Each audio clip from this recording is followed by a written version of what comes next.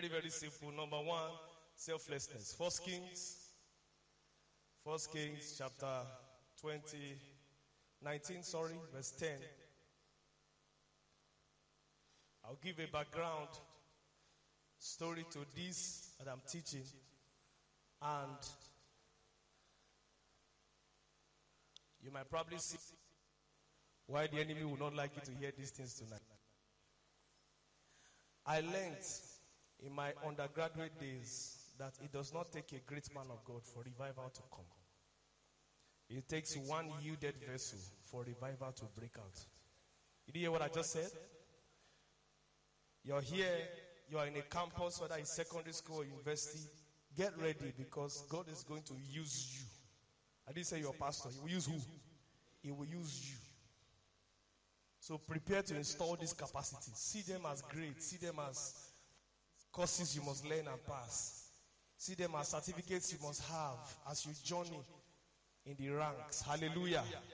I love to be heavily ranked in this army because the more ranked you are, the more you can do in little time. You get what I just said? Are you following? That's why I like to be ranked. Yes, there's curfew in the state. But if you have a soldier following you, you are fine. Yes or no?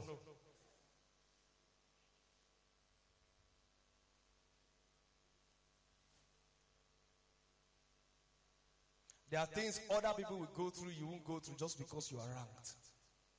There are instructions other people will give, and there will be delay in execution. But it won't happen to you because you are what?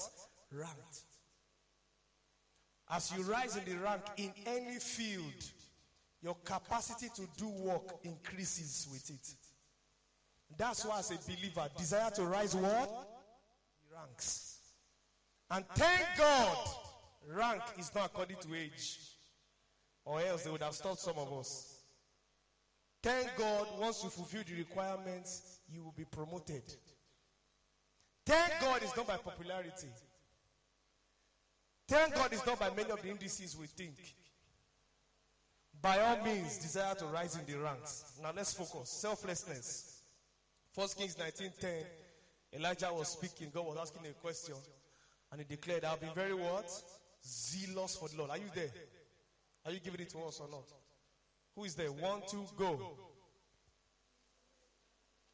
And he said, I have been very jealous for the Lord, the Lord of hosts. Have forsaken thy covenants ahead. Uh-huh. With the sword. And I, even I only, am left. And they seek my life to take it away. And this was a burden that Elijah had in his own days. And it was a selfless burden. So, very simple. You know your weight in the spirit by how many things you think about that worry you, that is not just about yourself. If it was just about Elijah eating and drinking and sleeping and waking up, he could do that without all this wahala, right? Are you following? I mean, if you remember, there were 7,000 of his kind inside cave, eating and drinking. Yes or no? But he chose to put his life on the line to ensure that the name of God was glorified in his own time. That's a burden, and it's a selfless burden. Is that clear? So begin to gauge your life, gauge your heart, check and see the things that are inside. What drives you to pray the most? And you might not arrive at this place in 24 hours, but if you start the journey tonight, you eventually get there. Are you following? Your heart might not have been right when you started praying. Some people say, My heart is not right. That's why I'm not praying. That's why I'm not seeking God. I'm not just fine. I don't really love God. That's not the issue. The fire purifies you. You start coming, and the fire will what? Purify you.